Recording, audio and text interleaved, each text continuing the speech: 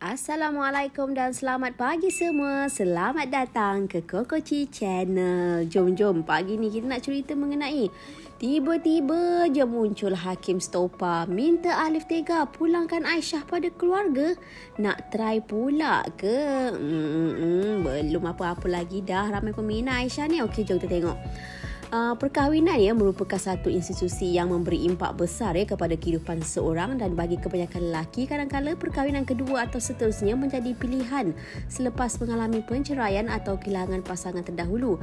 Tetapi lain pula berlaku kepada pasangan influencer yang popular Alif Tega dan isteri pertamanya Aisyah Hijana dan Alif memutuskan untuk berkahwin semasa isterinya hamil. Dan ini adalah keputusan hidup yang besar yang membuatkan orang sekeliling tidak senang duduk mendengarnya. Dan ini telah menarik, menarik perhatian pencipta kandungan Hakim Stopa atau nama sebenarnya Muhammad Sazri Hakim Jaafar. Dan dalam sebuah video yang dibuat naik di TikTok mengenai isu berkait dengan Alif dan Aisyah Hakim menyuarakan pandangannya dan menasihati Alif secara ringkas.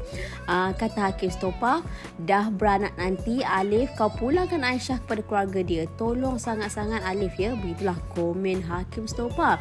Dan komen dari influencer yang aktif dalam dunia acara permotoran ini telah menerima komen yang berbagai dari warga net ya.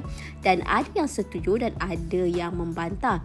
Dan antara komen warga net katanya, orang lain tak boleh mendesak kita lepaskan yang sememang memangnya hak kita. Kita lihat dan tak perlu kita masukkan diri kita ke dalam masalah rumah tangga orang lain. Biar kehendak isterinya sendiri ya. Begitulah tulis seorang warga net ini.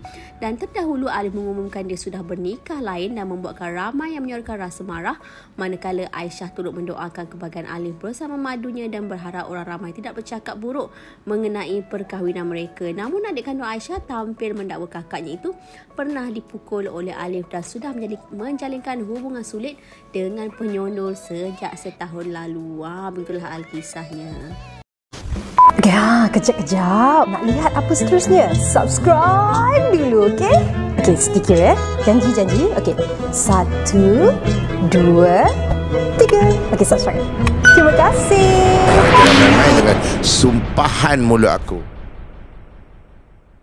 Kihah nak pesan sikit ni. Rujukan kami ambil ni adalah dari artikel yang dipetik di media hiburan. Hati-hati ya nak pilih kesahihannya. Kami tak pula nak bertanggungjawab. Cik Kihah suggest anggap sajalah semua ni sebagai hiburan dan bukan sebagai satu gosip yang boleh disampaikan di tingkap jiran-jiran.